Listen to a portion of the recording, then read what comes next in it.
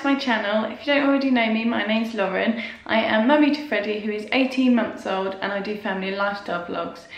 Freddie got a Q-Play trike for Christmas and we love it so I thought I would just do a quick review and show you a few, a few of the features. So yes, I'm sitting on my kitchen floor. No, I don't have anywhere else to film. Um, the house is a mess. We're doing the dining room now, so I would have preferred uh, film this in the dining room, but Tommy is now completely demolishing that, so I don't have that room. I am in the kitchen, which is the biggest space. I can show you how to um, show you the features of this trike. So ignore that, our lovely floor here and our unfinished paintwork and yeah, but that's what we got to work with today. So um, my review of the Q Play, we love it. Um, we haven't had any issues with it. It is really handy because you can fold it up. So I like to take it out for walks. If you don't want to walk, around your area, like just go out your front door, you can. Um, you can fold it up and put it in your car so that's what the uh, best feature for me. But it's also like a, a four stage bike so there's different four different stages for different ages. So now I'll get on and show the features. I hope you enjoy the video. If you do please give it a thumbs up click subscribe. If you want to be notified of all our future videos please click the little bell and that'll do that for you. So this is the trike.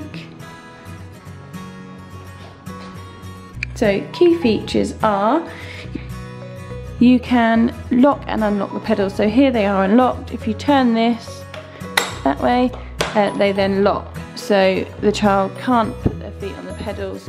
There are feet here for a younger child. So before 24 months, I think they say, to put their feet on here. There is a five piece harness. So you've got your, your button release there. This strap that goes between their legs, the straps that go around their stomach and the shoulder straps there. There is a quick release button here to open this up and make it easier for your child to get in and out. That can also go round the bike when you um, fold it up to keep it all together. You've got a hook on the back here to put any bags you want You've got a little tub there to put any bits and pieces that you want. You've got a brake, easy click on and off either side of there.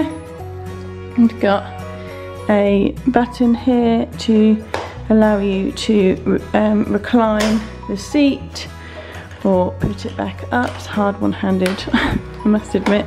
Um, there, like that. So You've also got the ability for the child to steer. This is steering, so it steers the wheel there like that. But if I pull this bit up, they can steer, well think they're steering, but they're not, so it's not moving the steering, the bike at all. We've also got a sun visor, which I've just put on there. All you have to do is click this in and out of here.